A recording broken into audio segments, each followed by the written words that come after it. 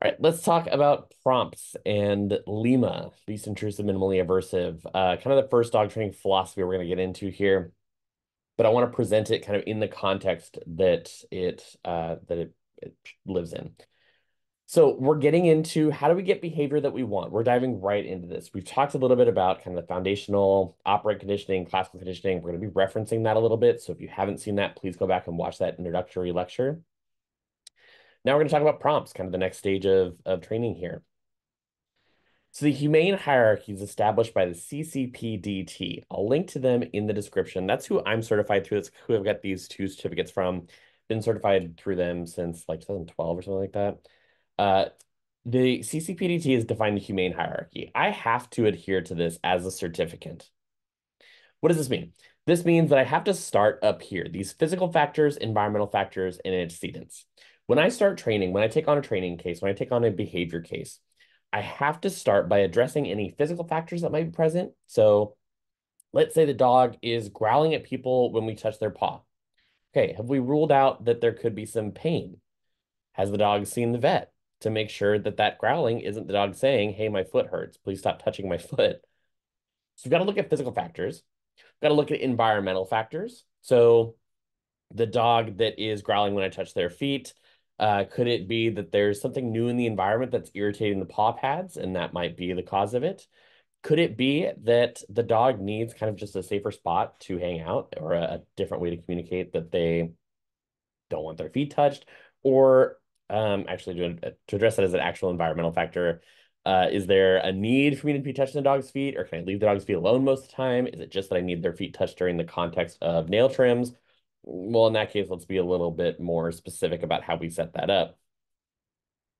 So once I've addressed that there's no physical factors that I need to address, and there's no environmental factors that I can change, and there's no antecedents, we'll talk about antecedents more when we talk about applied behavior analysis. Once I've identified that there's nothing there that I can change, then I move to positive reinforcement and classical conditioning. Now remember, positive reinforcement is defining what's happening after the behavior, right? It's defining the consequence of the behavior. So the first thing I need to try is seeing if there's a different behavior that I can reinforce, a different behavior that I can increase in frequency to get me the result that I want. Or can I change the dog's mind, change the dog how they change how the dog feels about the situation through classical conditioning? If neither of those two things is possible, then I can move on to negative punishment and negative reinforcement when needed. And finally, if I need to, I can, I can move to positive punishment if needed.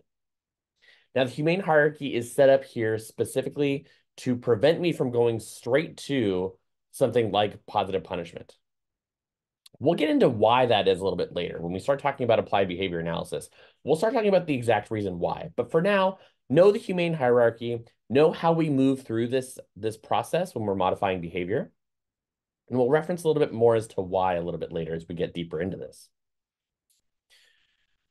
Now, LIMA and um, sort of the humane hierarchy is starting to talk about how we prompt behavior. When I say sit, the first time I say sit, my dog has no idea what I mean. First time I say sit, down, stay, come, let's go, whatever it is, my dog has no idea what that means, right? My dog doesn't speak English yet. So I have to teach my dog what I mean. The prompt is part of that teaching process. It's something that suggests what the behavior is. When I say sit and I lure the treat up above the dog's head, we'll talk about luring in a second here. I talk about when I lure the treat above the dog's head so that the dog sits, that lure is a prompt. The goal is to get rid of that prompt or to fade that prompt. So the cue is different from the prompt. And I want to be really clear about this because as we have discussions in classroom um, about how do we get this behavior, how do we get rid of this behavior, we're going to need to define what's the cue and what's the prompt, what's the desired cue and then how do I get there? And are there any potential conflicts between that cue and that prompt? So the prompt is something that suggests a behavior, and we're going to fade that eventually. Remember, it's different from a cue. The types of prompts that we use are ranked by intrusiveness. Now, in the dog training community, I've heard some debates about what's more intrusive and least intrusive and whether or not we've defined it. The human psychology world has already defined this for us. There's no need for us to redo it. The least intrusive prompts are verbal prompts. Sit, down, stay, come, etc. Now, Those look like cues because generally they are, but sometimes I can train a complex behavior like go get me a drink from the fridge by putting together a string of verbal prompts. Go get me a drink, go to the fridge, tug, get it, nudge, bring it, drop it. The cue was go get me a drink. And the prompts that I used were verbal prompts along the way to create that complex behavior. Now, that requires the dog to know what each of those words mean, and it requires me to train each of those ones individually and then put them all together in that string, which there's a couple ways to do that. There's not just one way to do that. You can also backchain that, but we'll talk about that later. So a verbal prompt is the least intrusive prompt. Gestural is the next, so gesturing towards something, gesturing that direction, go up, down, whatever it is. It's a little bit more intrusive, um, probably because I I need the dog to be looking at me. I need the attention to be on me. Again, we're pulling a little bit from human psychology here, and so my my analogies aren't going to be exactly perfect across the board here because quick reminder i am not i do not have a degree in uh, psychology. If there's a psychologist that wants to talk about this with me especially a, an ABA psychologist i'd love to have that discussion. Hoping to bring in a couple of friends that do have their uh, certificates or their diplomas to be able to talk about this a little bit more uh, maybe a little bit better than i hopefully a little bit better than i can. Visual prompts we use visual prompts in dog training a lot. Visual prompts are things like luring targeting um, I've got the treat or I've got something that is kind of encouraging the dog along there. That's that lure, think like a fishing lure. And then a target would be like I'm pointing to kind of the end result. So I want the dog to put their front feet up on a uh, up on a bench or something. I can lure that by putting the treat right on the dog's nose and then bringing the dog up until they put their front feet up. Targeting would be moving a step beyond that and just holding the treat kind of up where I want the dog's nose to end up. I'm targeting where I want you to end up, not bringing you along for the ride. Now, modeling is defined as more intrusive than that. This is social learning. This is a fairly new uh, field. There's not a lot of trainers that are doing this, but there are, I, I take that back. There's probably plenty of trainers that are doing this uh, in their own ways. One of the best that I've seen is Claudia Fugazza's Do As I Do protocol. I will link that down in the video description. She's got lots of great webinars, great presentations about this. Uh, and there's plenty of trainers out there that are doing this social learning. So me demonstrating a behavior and having the dog copy me, which is something that that a lot of research said that dogs can't do for a while. Now we're finding that they're not only able to do it, they're able to do it extremely well. Uh, and they're able to remember what I did a couple minutes ago, which is really interesting. So modeling is social learning that is a more intrusive prompt than visual, as defined by uh, human psychology. Now, physical is the most intrusive prompt. So physically pushing the dog, like physically pushing the dog's butt down, or um, physically grabbing the dog's paws to teach them to shake or the paw to teach them to shake, a leash or collar correction, all of those kind of things are the most intrusive prompt that I can use. So let's talk about LIMA. LIMA stands for least intrusive, minimally aversive. A lot of organizations talk about LIMA, least intrusive, minimally aversive. Now, we talked about aversives in the last lecture. We talked about uh, punishment, right? Being aversive to some degree. I want to, it has to be to some degree. I want to uh, use the least aversive, least intrusive, minimally aversive, the most minimally aversive, the smallest aversive, the least aversive thing I can use to get the result that I want. And I also want to use the least intrusive. So how do we define least intrusive? Well, human psychology has already done it for us. We don't need to redo it. We don't have to come up with a new definition for dog training. It's already been established. We'll talk about applied behavior analysis a little bit more later. But if you'd like to look up some resources in the meantime, or if you'd like to look up something to substantiate what I'm saying or to uh, contradict what I'm saying, please let me know. But there's some debate over going least to most in training or most to least when we're acquiring new skills. And there's a lot of resources. I'm going to link to some of them. There are some resources available, uh, specifically resources for working with children with autism. We talk about prompting. We talk about least intrusive, uh, most intrusive, least to most or most to least prompting in order to get me what I want, get the behavior that I need. Now in dog training, we want to use the least intrusive prompt that is available to us right now. least intrusive prompt that is available to us right now. Now, that requires me to evaluate where this dog is at right now. So looking over here at this graph, we're going least to most. So a time delay, I say something, sit, wait until the dog does it, then reward them for doing it. It's a time delay prompt. That's going to be the least intrusive prompts. Verbal, again, going back to verbal, gestural modeling, partial physical, and full physical. Partial physical would be like a tap on the butt to, to encourage a sit. Full physical would be like physically grabbing the dog's butt and pushing, pushing down. And also pulling up on the chest. So that is the most intrusive prompt I can use. The debate we get into in dog training, or the debate that a lot of dog training has, is whether or not it's effective or not. Well, you shouldn't do that because it's not, it's not going to work. The reality is that it will work. The reality is that there are a lot of ways to train a behavior and they all will work. The problem and what we want to discuss and what we want to make sure that we're mindful of is what else are we learning? And is there a, a less intrusive way of teaching that? Because long term, I'd like to fade that prompt.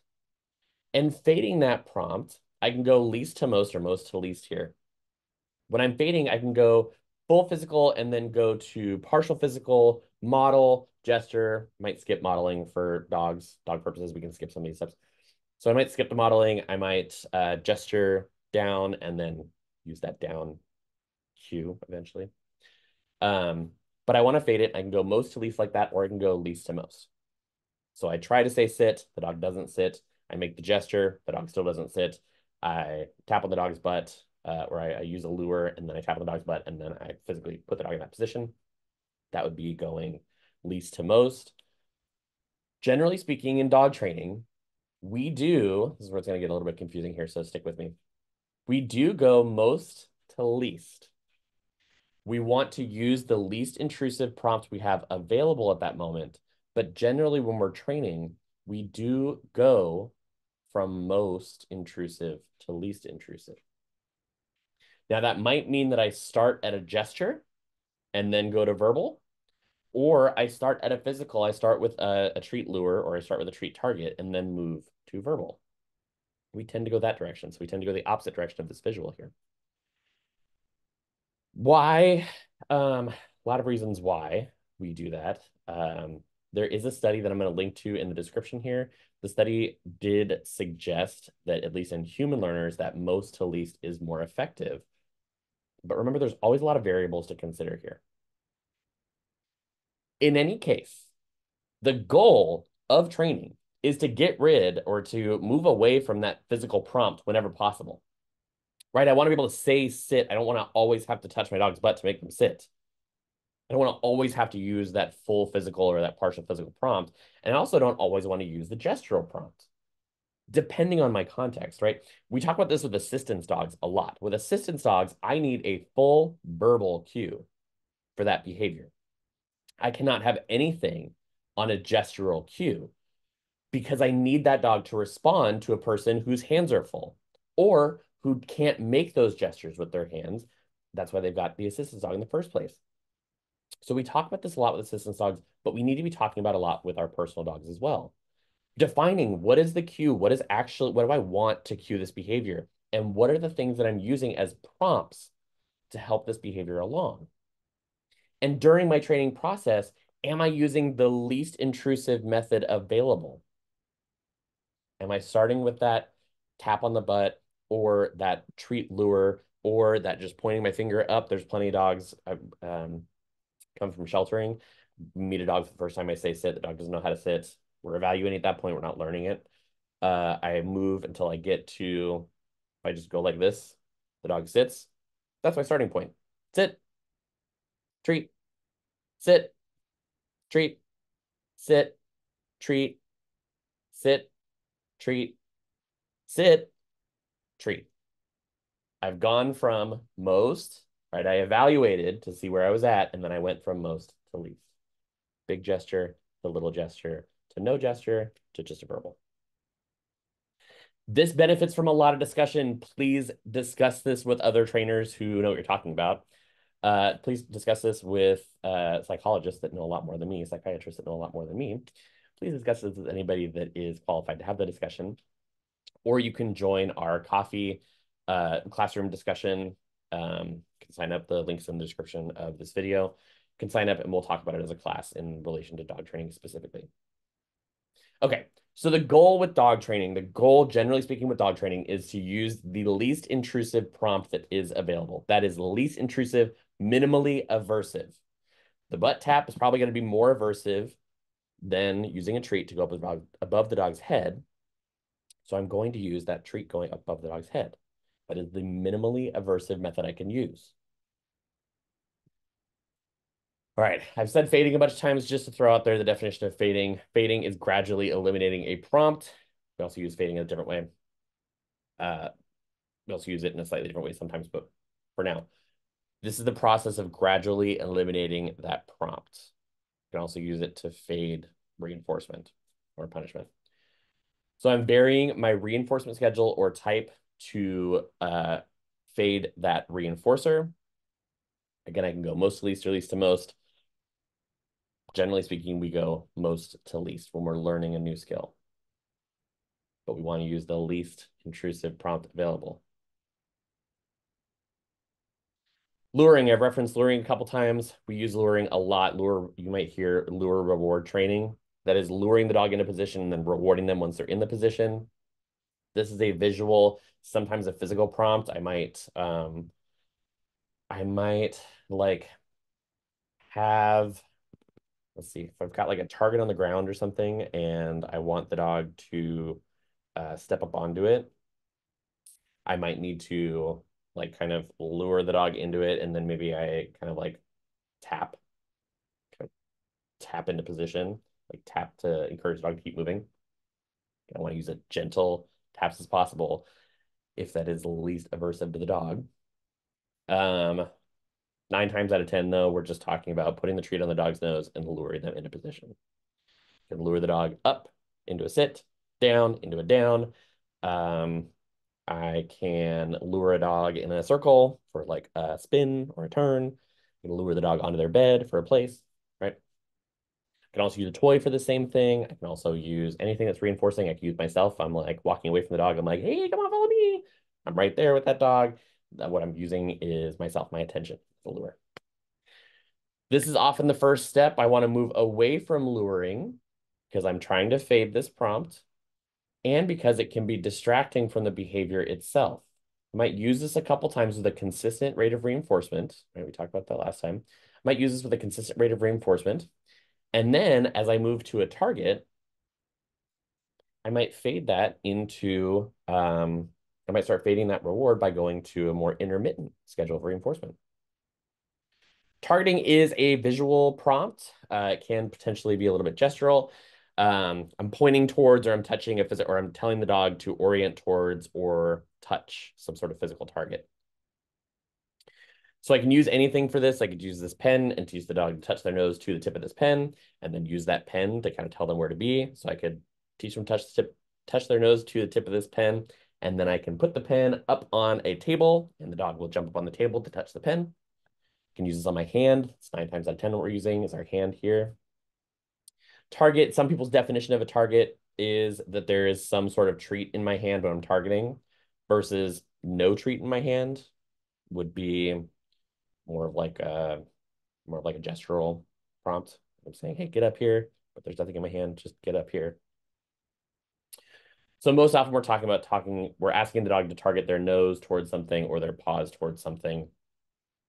We also have target sticks. I don't have my target stick on hand, but you can use literally anything. You could use a drumstick with a um, ping pong ball glued to the end of it. That's what I do for chicken training. I glue a, a, a orange ping pong ball to the tip of a wooden dowel. I use that as my target stick for chickens.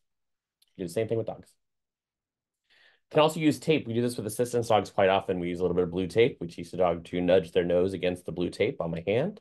And then I can put the blue tape on my leg. I can put the blue tape on a drawer. I can put the blue tape on anything I need the dog to, like a crosswalk button. I can teach the dog to go nudge that by putting that blue tape on it.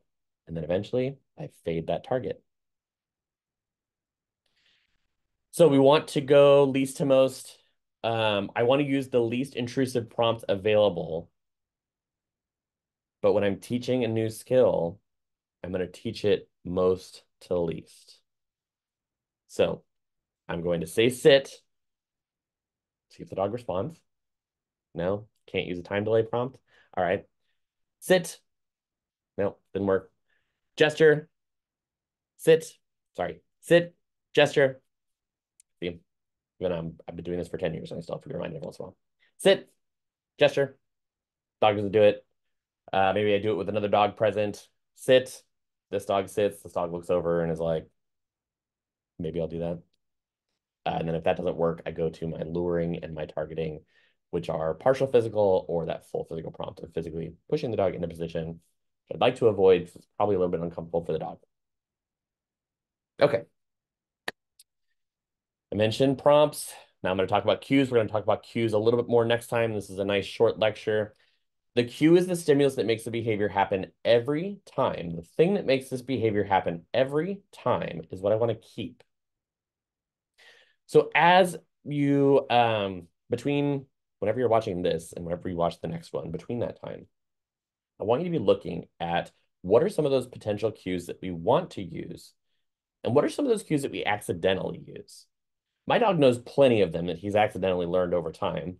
Anytime that I uh, walk into the kitchen and open up the treat bucket or the um, the chewy bucket jar, whatever, if I'm to click that open, that's a cue that he's going to get one of those, right? I can get rid of that if I wanted to. I don't really care to get rid of it, so I'm keeping it. When I click that open, that's a cue for my dog to come into the kitchen and take that, that chewy from me. So what are those accidental cues? This happens in dog training really, really often where people will come to you and they'll say, my dog will only sit when I hold my hand over their head. Or whenever I clip the leash on, my dog starts barking. These things have all become cues for other behaviors that we don't necessarily want. Start looking for those in between this session and whatever you watch the next lecture. I'll see you next time.